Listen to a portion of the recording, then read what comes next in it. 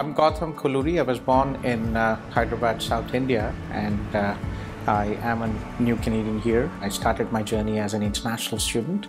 Education transforms people, education transforms lives, education gives a new perspective to life. These short programs in York University are exactly for professionals or for recent graduates who are looking to enhance their skills. This is the most difficult times for many businesses, many professionals, uh, many business. There's a lot of job losses due to the pandemic and uh, it is uh, a situation where many people, uh, especially professionals, uh, are looking for job opportunities. They are looking to upgrade their skills and uh, York University offers uh, many programs for this labor market. Uh, York University School of Continuing Studies has about 35 programs in IT, in business, postgraduate programs and certificate programs. They're full-time and part-time programs which will really help Canadian uh, and obviously international students who come to Canada